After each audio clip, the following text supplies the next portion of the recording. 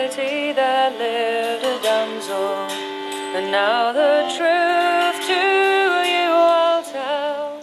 Although traditional songs are by their very nature something that is very old and something